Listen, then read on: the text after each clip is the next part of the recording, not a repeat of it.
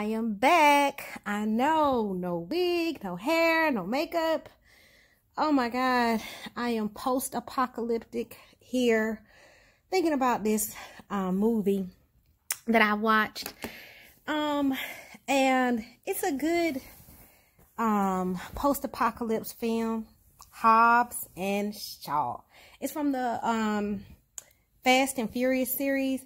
Now, um, Fast and Furious, that series, that whole lineup, one through a hundred million, whatever it is, um, that whole series is amazing to me. What I like about the Fast and Furious series is the friendship and the connection. Now uh, that they had as a group, they moved as a unit together. This Hobbs and Shaw, not so much. I mean, they left out Ludacris and they left out um my baby daddy. I forgot his name. I try to forget my baby daddy name. Um Tyrese, yes. Anyway. um, yeah, so yeah, they left him out. They left them out of this one. Um, for Hobbs and Shaw, this spinoff. But they brought in my other baby daddy, Idris Elba. Oh my gosh. And they had Idris Elba in this as a superhuman soldier, man.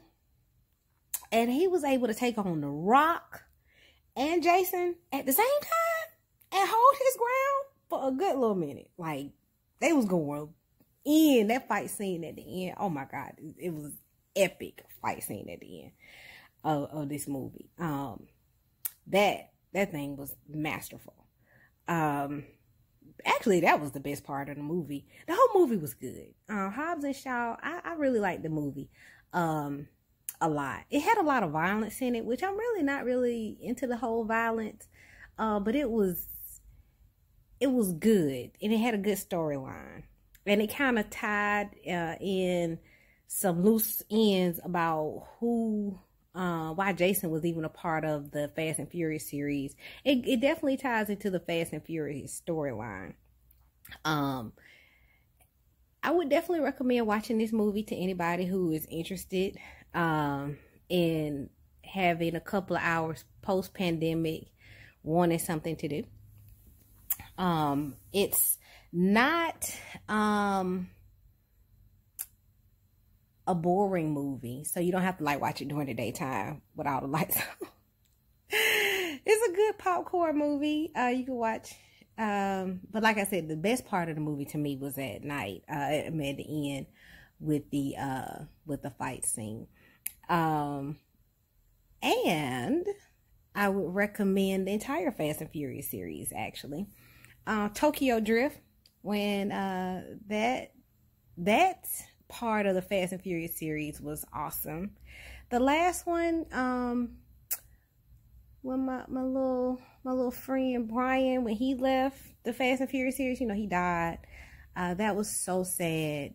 Um, to me, that last one before he died wasn't the best one. I mean, they still had those really cool, um, explosive, um, driving scenes, you know, the, the, the driving in it was amazing. Storyline, though, was weak. Um, the movie itself was kind of sad. So, uh, I'm sorry, but I didn't like the last one with the, that he was in, like before, right before he died.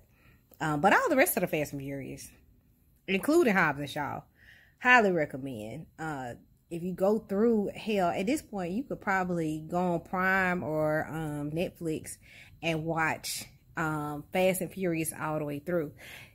If you watch the first one uh notice the uh neon of it all like the neon and the and the and the wave caps and the and the early 2000 late 90s oh man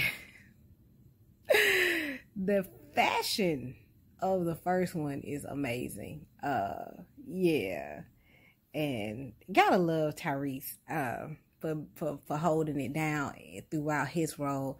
And I love the, um, I know this is not about Hobbs and Shaw, but I'm just saying what I like about the Fast and Furious series is the role that Ludacris and Tyrese play, um, how they play off each other.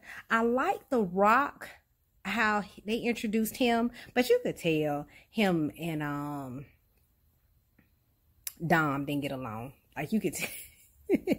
they they you could tell they didn't get along. Like, you, you know that that that wasn't gonna work. Like I I mean they're professional and they kept it professional as long as they could. But it must be something about their zodiac sign, a magnetic pull, a twin flame, whatever you want to call it. I don't care.